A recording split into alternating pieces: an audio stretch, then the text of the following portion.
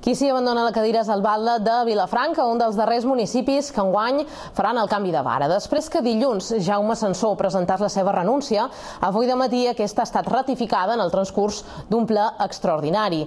Sansó, davant un nombrós públic, ha fet memòria de les actuacions duites a terme durant els seus anys a l'Ajuntament.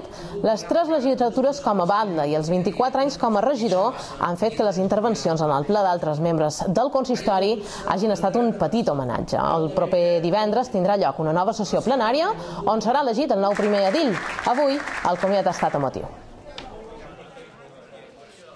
i hem intentat eh, amb aquest acte eh, fer un reconeixement a tots els regidors que han participat en jo eh, tots aquests anys, aquests 10 anys de valia i a part eh, poder reconèixer que Vilafranca ha avançat i ha progressat amb un sentit molt positiu